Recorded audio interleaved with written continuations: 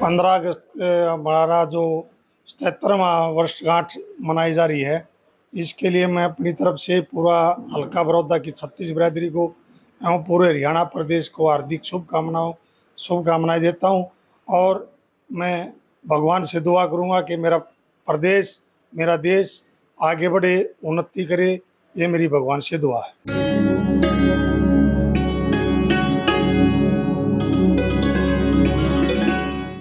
हमसे जुड़े रहने के लिए हमारे YouTube चैनल को सब्सक्राइब करें और नई वीडियो की नोटिफिकेशन के लिए बेल आइकॉन को दबाएँ।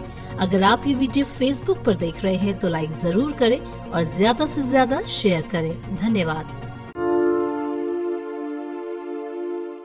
अगर आप ये वीडियो Facebook पर देख रहे हैं तो लाइक ज़रूर करें और ज़्यादा से ज़्यादा शेयर करें। धन्यवाद।